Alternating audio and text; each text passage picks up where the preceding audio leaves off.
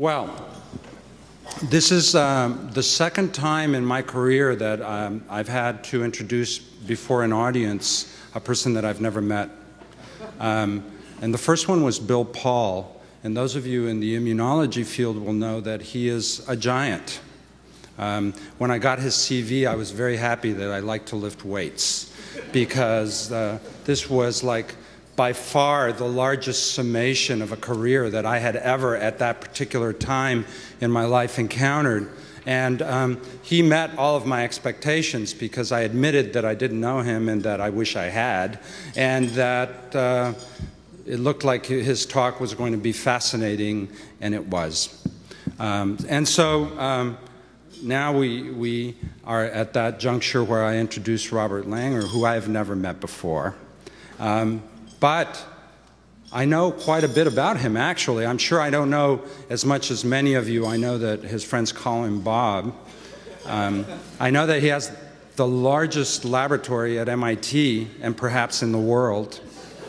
I know um, that he has more patents than Thomas Edison.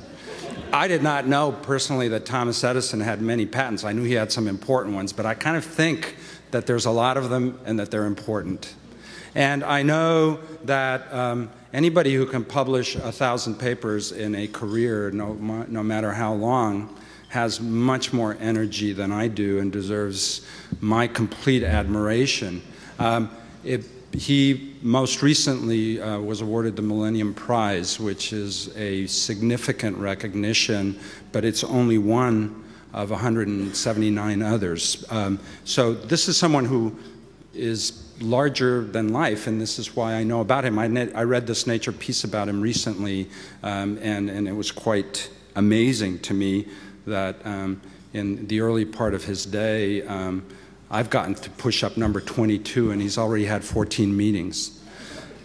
But he also works out more every day than I do, so I, I, I, I'm just staggered. That's really the definition, staggering, um, as I think of, of, all of the things that, that Dr. Langer means. He, it should be easy enough just simply to say that he's an institute professor. We, those of us who are from MIT knows, know exactly what that means. Um, and so, um, in addition to the fact that I think it is absolutely magnificent that uh, biology and engineering and chemical engineering um, are all coming together in this Koch Institute, that, that the kind of people that we're putting together, it's, it's kind of scary. I mean, I want to be here for the next 20 years and see what is going to happen.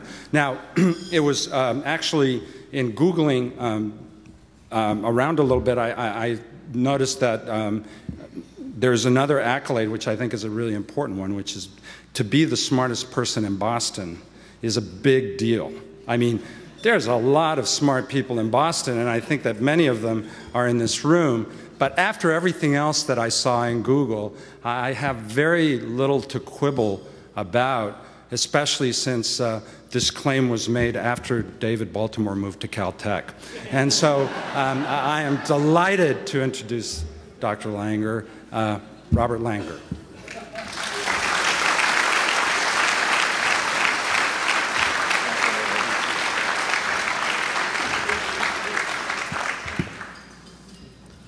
Well, thank you very much. Uh, it's uh, really a pleasure to be here. So, as the, so I think as the one engineer that'll be speaking tonight, um, what, what I thought I'd try to do is maybe just give you uh, sort of a, a, perspective, a personal perspective on, again, starting back for me as a, somebody who graduated from MIT in the early 70s and what it was like trying to see if, we, if there was a way to do biological research or or and, and, eventually cancer research. And it actually wasn't that easy. And then I'll, I'll try to go over, you know, to how we moved to where we are today. So let me turn the clock back to the 70s. Uh, and you've heard about how the area around uh, MIT wasn't very nice then, and that's actually right. But in chemical engineering, which is where my discipline was, um, what I remember in the 1970s as I was graduating in 1974 is there was a supposed energy crisis. And what happened then is that if you had a, a, a car, you'd, you'd, have to pay not only a lot for gas, but you'd have to wait in line, as people can remember, maybe for up to two hours to get your gas. But if you were a chemical engineer, the good thing about that was you got tons of job offers. Pretty much any oil company in the country would hire you. And so I actually got over 20 job offers at the time.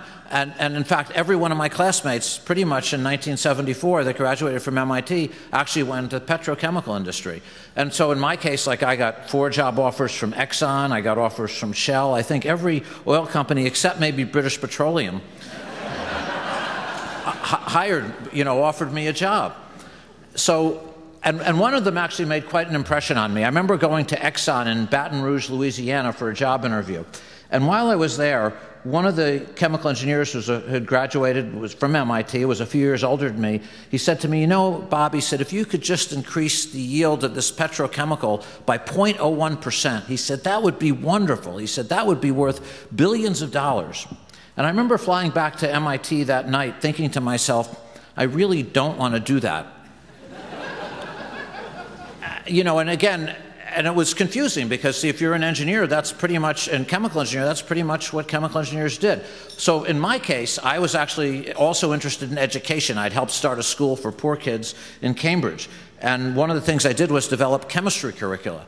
And one day I saw an ad for uh, assistant professor at City College in New York to develop uh, chemistry curricula. So I, I, wrote them a letter to apply for the job, but they uh, didn't write me back. But I really liked the idea, so I looked at every ad I could find to do that. And I actually found about 40 different colleges that had assistant professor of developing chemistry curricula. And I wrote to all 40, and actually none of them wrote me back. so uh, that wasn't going so well.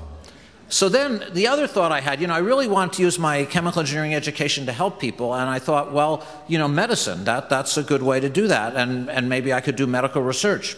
So I wrote to a lot of hospitals and medical schools. Uh, they uh, didn't write back either. But then one day, one of the people in my lab, the lab I was getting my graduate degree in, said to me, said, Bob, he said, there's this surgeon over at Boston Children's Hospital named Judah Folkman. And he said, sometimes he hires unusual people. he, he actually thought very highly of Dr. Folkman, just I won't say what he thought of me. So I wrote to Dr. Folkman, and he was kind enough to offer me a position. And I worked there for uh, three years. And, and, that to me was just a terrific experience. I was the only engineer in all the Children's Hospital.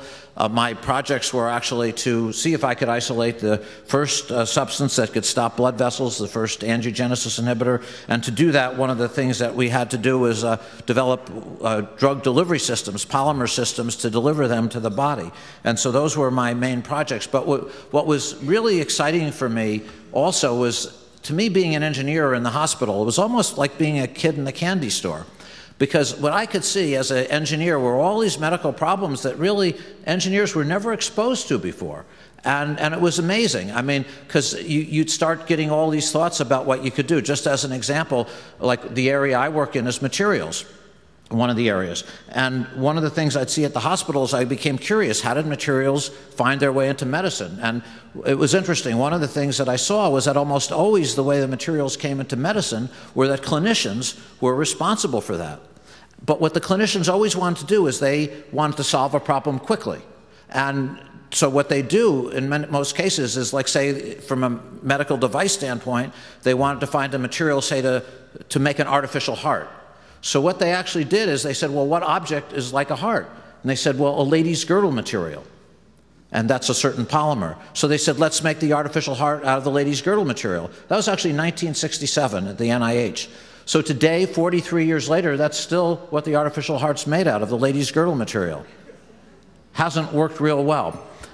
And, and, and the reason for that is that when the blood hits the surface of the artificial heart, the lady's girdle material, it forms a clot, and the clot goes to the patient's brain, they get a stroke, and they die. But if you think about it, something that was designed to be a lady's girdle, it may not be the optimal blood contacting material.